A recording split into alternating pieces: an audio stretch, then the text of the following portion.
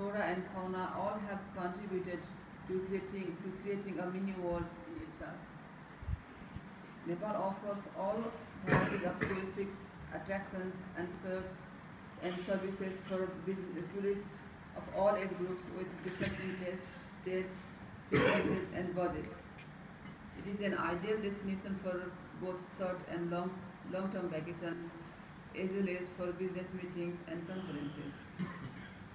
Nepal is a tourist-friendly country.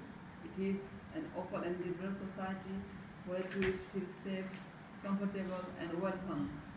It has very friendly visa policy for tourists and businessmen. It could be an ideal destination for Pakistani tourists who can easily get tourist visa upon arrival.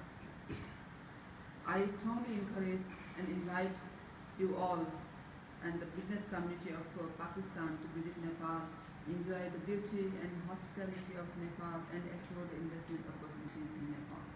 So seven, uh, I'm here with uh, great hope and personal commitment to increase the volume of trade, tourism, investment and people-to-people relations between our two friendly countries and look forward for your uh, continued cooperation. The Mission Nepal in Islamabad and myself will remain at your disposal in lending our support in whatever manner we can offer to you.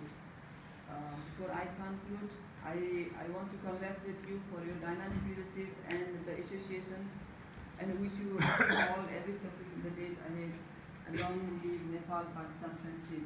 And I fully endorse the statement that, the, the, that you have just uh, expressed before. And uh,